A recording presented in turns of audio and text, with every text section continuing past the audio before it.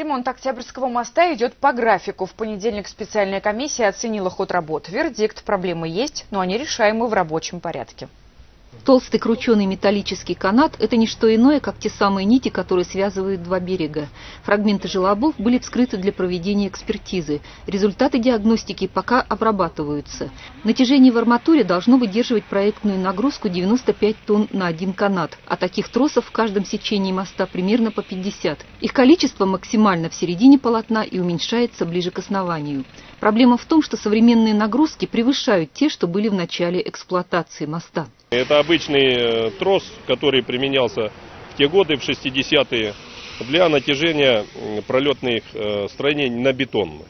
То есть дополнительно создается напряжение, обтягивается конструкция с двух сторон, тем самым э, создавая усилия дополнительные на бетон, и чем в дальнейшем э, компенсируются потом нагрузки проезжающего транспорта и все. То есть за счет этого конструкция, собственно говоря, и стоит. Ремонт моста ведется почти три месяца. Мостотрядовцы трудятся 24 часа в сутки вахтовым методом.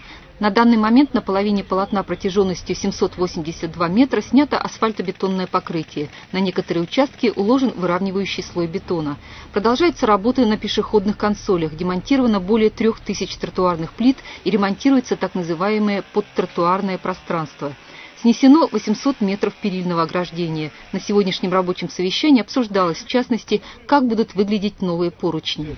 Мы говорим, что поручень, поручень, нет, месте. поручень у нас должен быть вот, самое, в одном уровне. Красиво, чтобы было, правильно? Значит, там всяко будет зазор.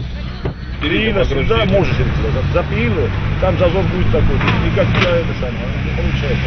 Ремонт моста в этом году будет продолжаться до планового завершения. Дожди, как пояснили подрядчики, не остановят процесс. В мокрый период можно вести подготовительные работы, а вот укладывать асфальт можно только насухо. Мы же работаем круглогодично, то есть у нас есть э, принципе, подходы, разработанные регламенты по уходу за бетоном. То есть, естественно, в отрицательной температуры и э, при минус 5 э, и ниже, да, обязательно нужен дополнительный обогрев. То есть это устройство тепляков и так далее.